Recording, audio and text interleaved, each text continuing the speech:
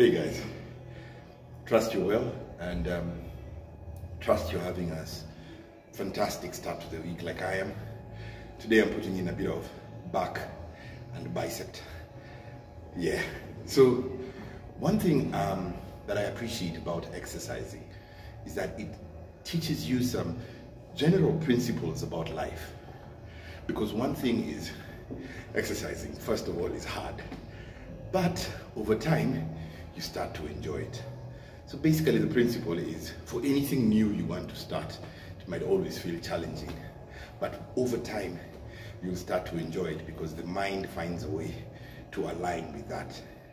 So another thing is, when you exercise, it takes some time before you start to see some results. And this relates to the book that I'm currently reading, The Atomic Habits. And it teaches us that you will start doing something, a new good habit, but for quite some time, which is called the latent phase, you will not see the progress you're expecting. And that's where many people drop off. Now, I want you to be true to your higher self, okay?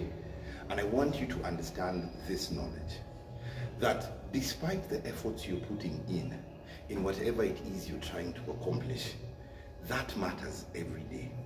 The typical example given is a stone cutter. Whenever he hammers the rock, it takes some time before that stone gives in. Okay? So another practical example would be at the gym. Losing belly fat. That takes time. But each time you come to the gym doesn't mean you're not impacting your belly to a particular extent. You are. But over time, it'll give in and that fat will start to disappear. Same thing like for me, who's a recovering alcoholic. Every day on my journey, I pursue, I pursue this other side of life contrary to the way I used to live in my years of addiction. But as I do that, I continuously become more seasoned. And every day, um, I get closer to who I am meant to be, my higher self.